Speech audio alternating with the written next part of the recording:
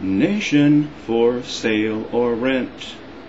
Thanks to our president, liberals and tons of czars ain't got no clunker cars. We got energy policies fixing to take us to our knees. And there's health care legislation gone our nation.